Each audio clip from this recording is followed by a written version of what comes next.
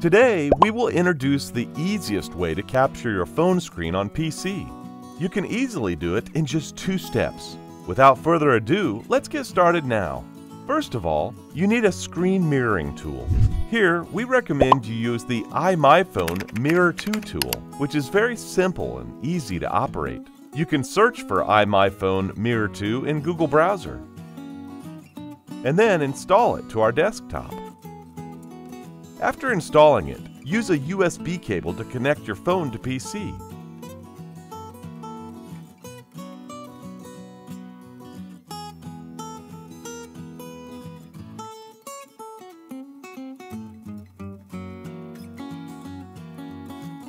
In step 2, open the page that you want to capture and click the picture and it will be easily saved.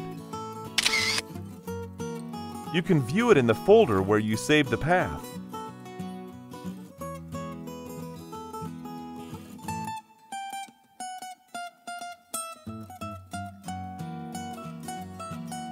What's more, you can also take screenshots of other screens, such as chat screens, notepads, etc.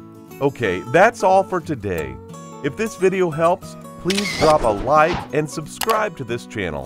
Bye! See you in the next video.